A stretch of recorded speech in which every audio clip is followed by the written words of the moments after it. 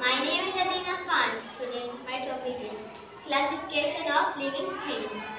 What is meant by classification? Grouping is called classification. Classification of living things means grouping of living things. Living things are classified into five kingdoms. These are Monera, Protista, Fungi, Animalia and Plantae. First of all, kingdom Monera. Kingdom Monera consists of bacteria. Bacteria are unicellular. They can be seen under a microscope.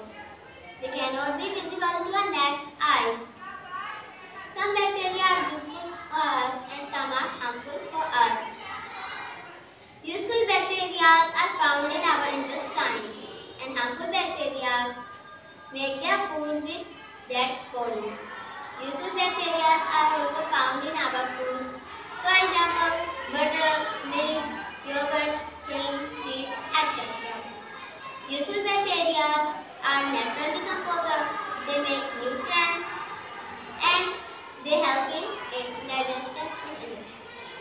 The second kingdom is Kingdom Protista. Kingdom Protista consists of algae. Algae are found in water bodies like lakes, rivers, oceans, etc. Some algae are unicellular, some are multicellular and some are ceremonial. Examples of algae are Spirogyra, Euglena and volvox. Volvox live like colony. Algae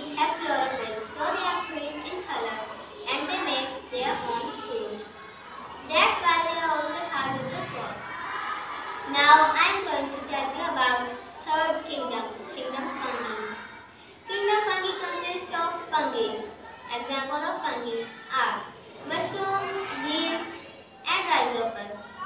Fungi are unicellular, multicellular, and filamentous. Yeast is unicellular, mushroom is multicellular, and rhizopus is filamentous like a thread. Some fungi are natural decomposer and some are harmful for us because they cause diseases.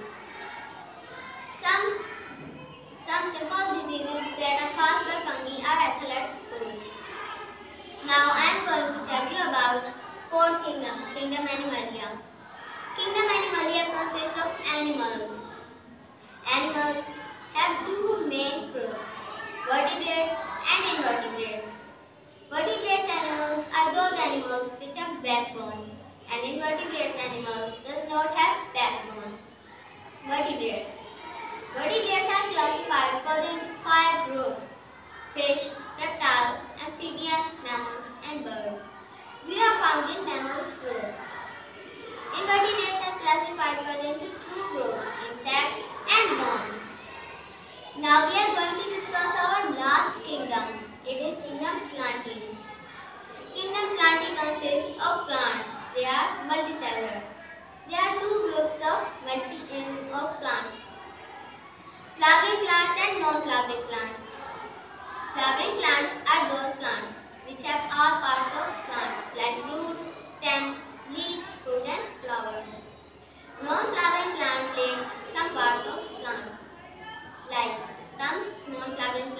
plants, takes. Some like fruits, and flowers and